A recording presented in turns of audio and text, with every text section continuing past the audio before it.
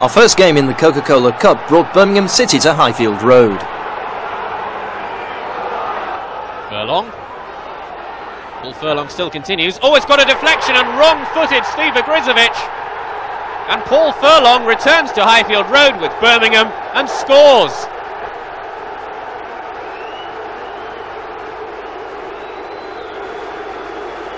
Two minutes left. Gary McAllister with the corner for Coventry. Cleared away by Birmingham. McAllister, though, will have another chance to tee up a cross. No, it's Telfer instead. Missed by everyone except Liam Daish.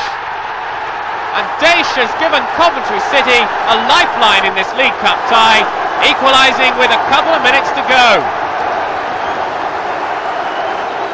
Well, it looked like it could have been a cup upset here with defeat for Coventry. But Liam Daish has almost certainly grabbed them a draw to take to St Andrews. The cross from Telfer. And Daish was there.